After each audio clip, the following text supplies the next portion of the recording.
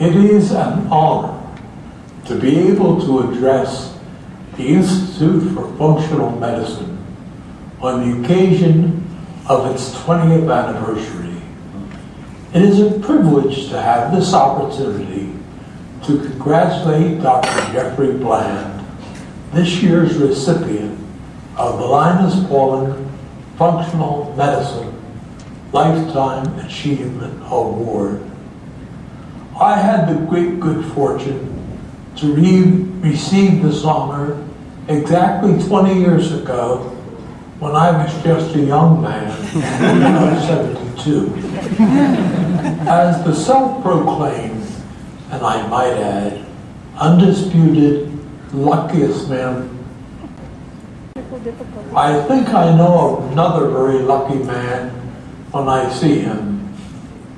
Jeffrey Bland is such a man.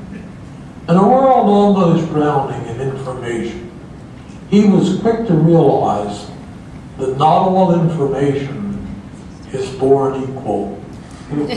because he is brilliant, he was able to evaluate what was valuable, indeed, what was essential. He could have left his fellows behind.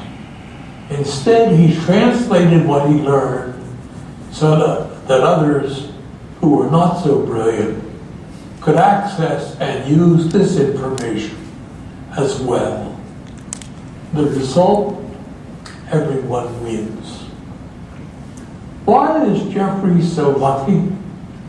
Because he gets up every day of his life and does exactly and precisely what he wants to do. Isn't it great for us that what makes Jeffrey Bland happy is saving the world? Sometimes that world kicks and screams and behaves very badly indeed. And it makes us all wonder why we are trying to save it. May I remind you, Jeffrey, of what Mahatma Gandhi said. First, they ignore you. Then they laugh at you. Then they fight you. Then you win. you and your team at the Institute for Functional Medicine are winning. Keep fighting. The world needs you.